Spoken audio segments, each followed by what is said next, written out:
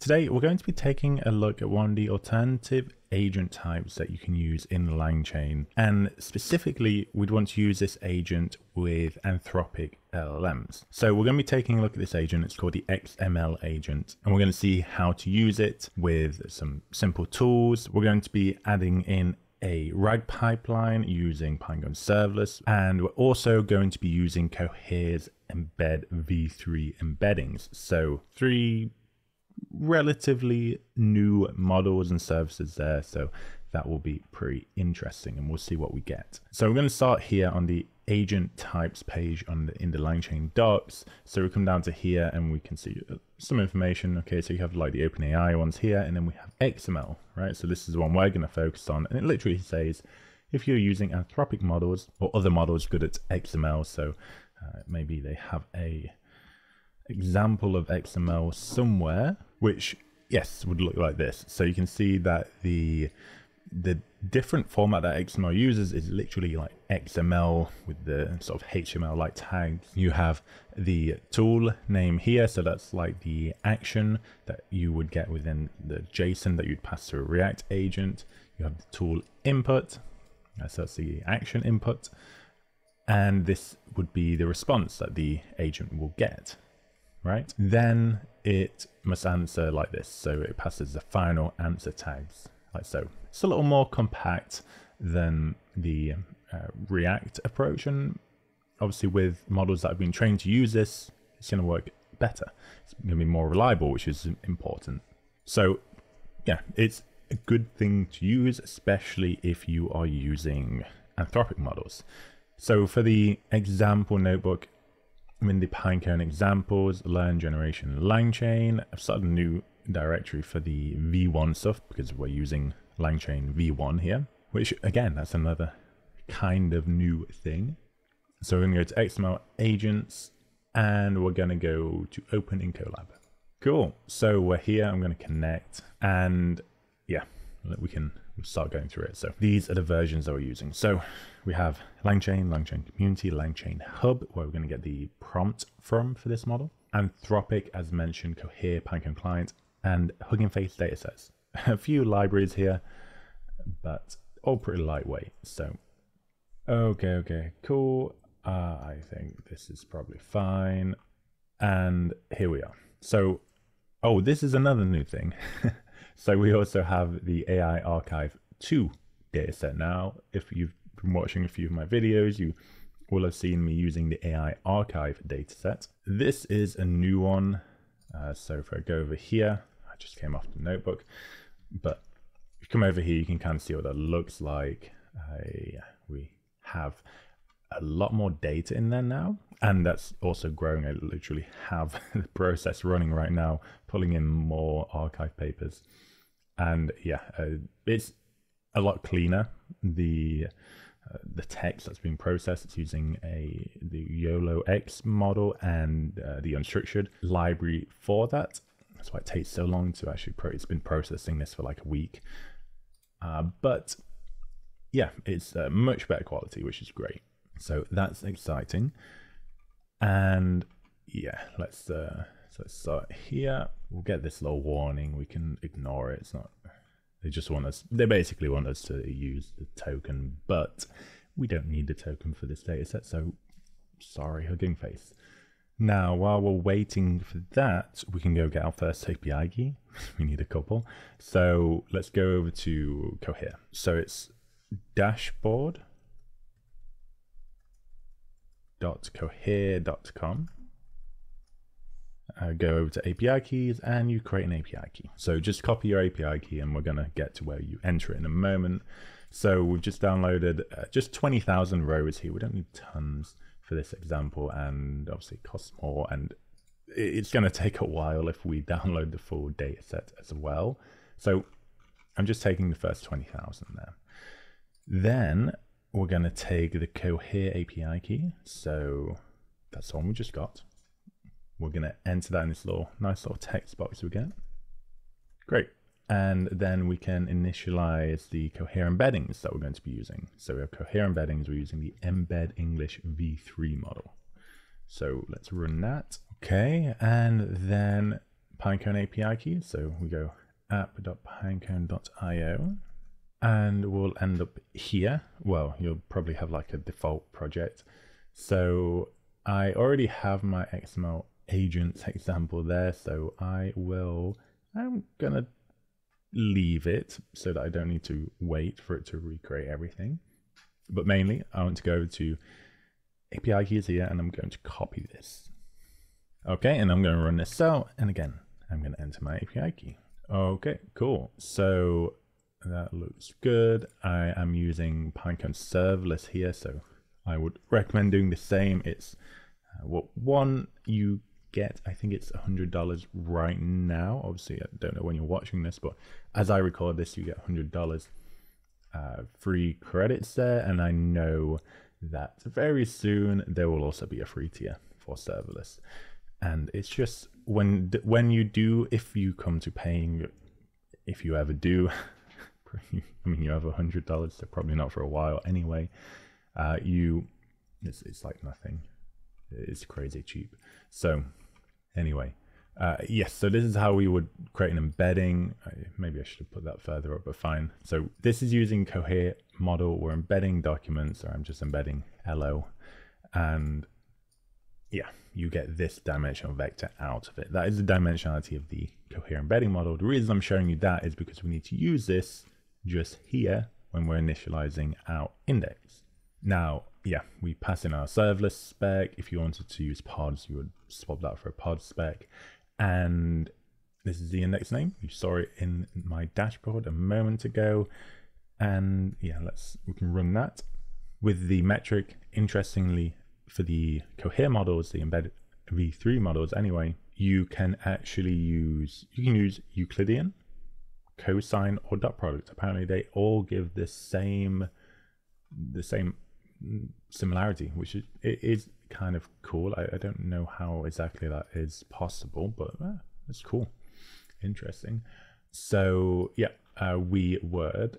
okay right now, or when you run this, you should probably see zero for your total vector count. It's because I already have the index, and then after that, you would just create your index like this. The ID we can actually actually do that because we have unique IDs in here now where is it? We have this. So yeah, just a little quick fix there. And yeah, you, you run that. Uh, last time I did it, it was 11 minutes. So it's a little bit of time, not too significant. Now, while that is running for you, let's jump over to grabbing our Anthropic API keys. So this one's always a little harder to find, at least for me, I always find it hard to find. So you have to go to console anthropic.com. So console.anthropic.com, and you have to create an account if you don't already. Okay, cool. So you should get logged in. I am going to go to get API keys, and yeah, you can go to create key. I'm going to create a new one and we'll copy that. Okay, so let's continue. We're not actually going to be using the Anthropic API key uh, for a little while but I wanted to initialize it quickly now anyway. So what we are going to be doing is setting up our agent or everything that our agent needs, which is actually quite a few things. You have to think, okay, we need our tool, which is going to be our search. We need our prompts. We need some form of memory because I'm, we're going to make a conversational agent here. And I think there may be some other thing. Oh, the LLM, of course, so Anthropic. And yeah, you know, there's a few things that we need there. So let's start with our tool. So slightly different syntax here to maybe what I've shown in the past. So using now using the tool decorator. Tool decorator, when we use it, we need to make sure we pass a description here. This description is going to be how the LLM decides whether to use this tool or another tool or no tool. So we do need something good here, something descriptive but concise. Within our tool, so we're going to pass a string query. Uh, we're going to embed that using Cohere. We're going to search using Pinecone, making sure that we return our metadata because that will contain our, our actual plain text. And then we return a single string containing all of our responses. Okay.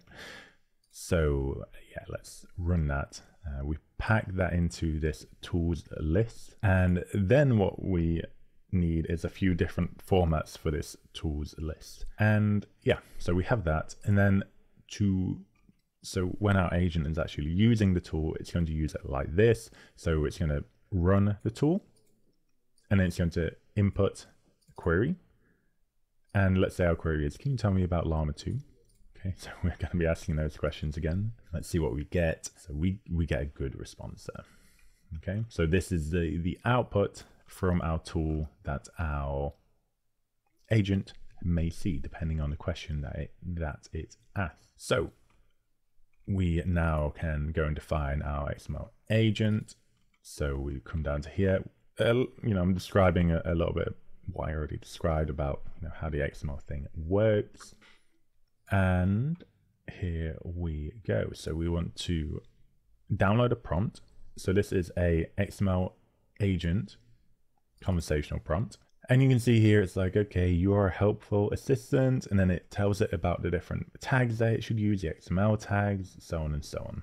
Okay, so it's the it's what I showed you before. And you can also see here that it allows a few uh, inputs. So the agent scratchpad, it's like its internal thoughts, the input, so our query, and some tools. Okay. Another one that we may use is the chat history uh, which would end up somewhere around, somewhere here. Ah, chat history gets inside there. So we'll need to add that as well. Now we get to our Anthropic chat LLM. So we initialize this and we want to enter our API key that we copied from before. Okay, so we now have we have our tools, we have our LM, we have our prompt. There's a few more steps that we need. So one thing that we need is a way of converting our intermediate steps into text in the correct format. So this is what we get, right? So this goes into the scratchpad, i.e. the internal thoughts of the model. Uh, so it's basically going to take, okay, the, the tool that was decided to be used, uh, the input to that tool and what it got from that tool. Okay, so this is coming from in, in the intermediate steps. So it formats that into a nice uh, string format for the model or for the agent. We have another one here. So this is when it is, uh, so for the initial prompt, how it will decide to use different tools. So we have tool name and that maps to a particular tool description. So we also need that format.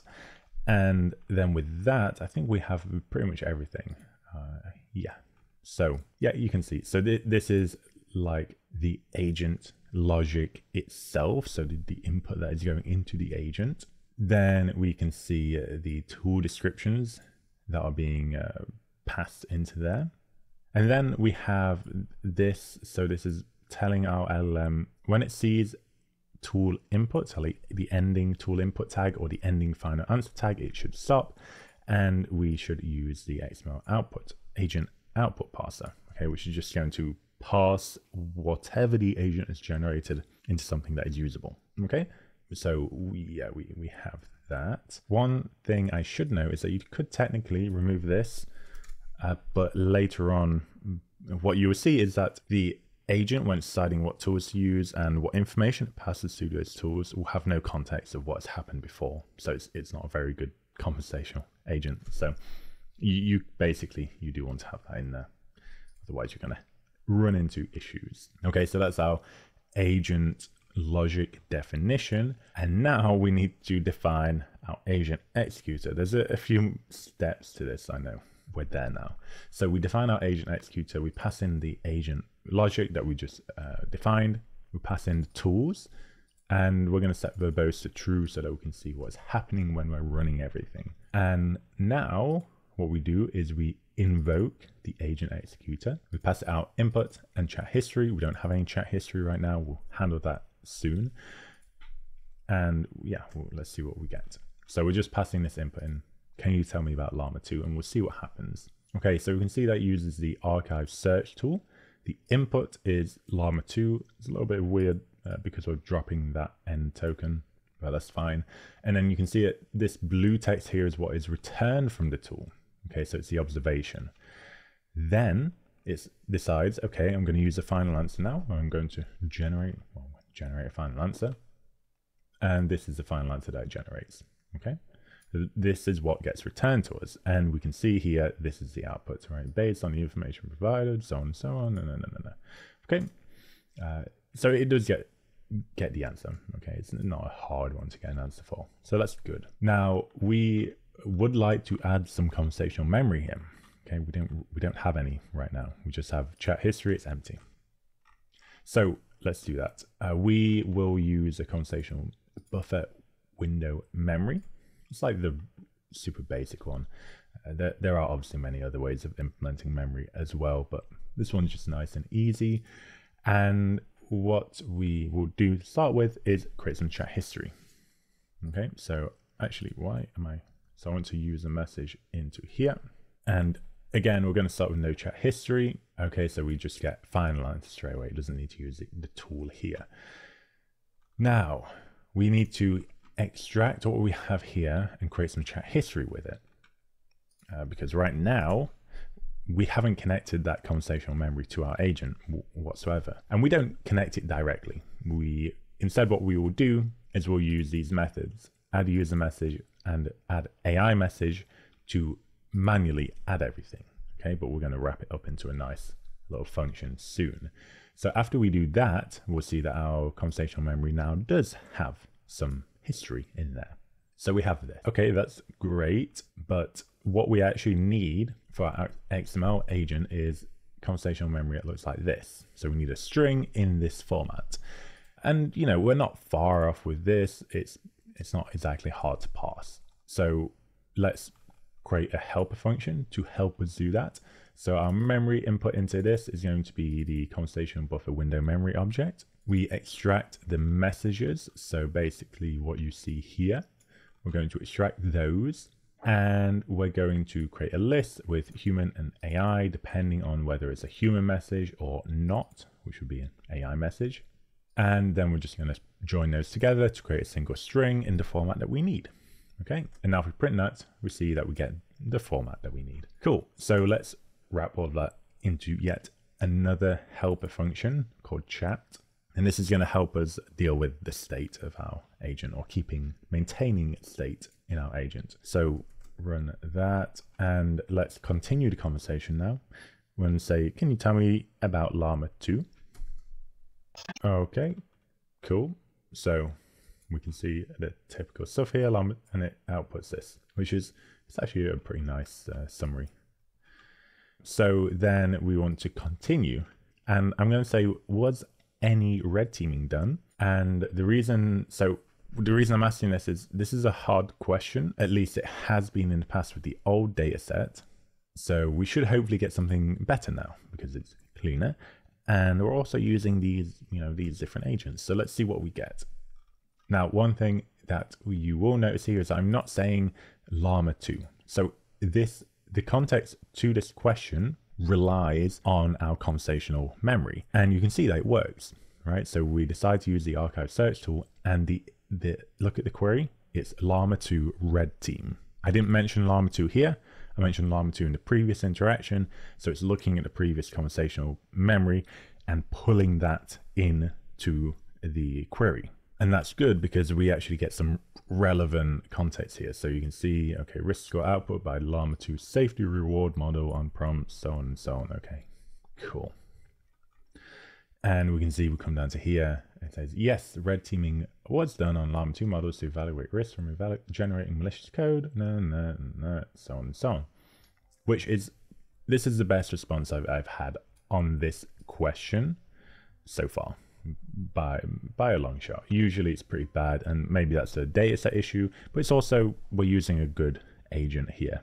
So that is it for this little tutorial on XML agents with LangChain v1. We've gone through a few things using a few different models, which has been interesting and cool. So one, we use Pinecone serverless, which obviously kind of new and interesting we also use Anthropic for the LLM, and we also use Cohere embeddings. And all those together made something that works pretty well in my opinion. So yeah, that's it for this video. I hope this has been uh, useful and interesting. But for now, I'll leave it there. So thank you very much for watching, and I will see you again in the next one.